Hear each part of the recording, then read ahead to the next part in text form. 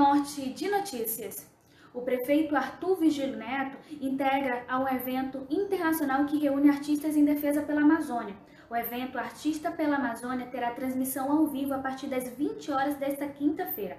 A live que reúne artistas unidos pela organização não governamental United do Amazonas deverá arrecadar doações para a região e acontece até as 22 horas de hoje. Aí você pode acompanhar pelo site que está aparecendo aqui na sua tela. E para ter acesso ao evento, basta se cadastrar com nome e e-mail.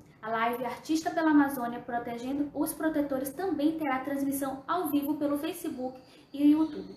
Eu sou Aline Bindar, do portal Norte de Notícias. E aí?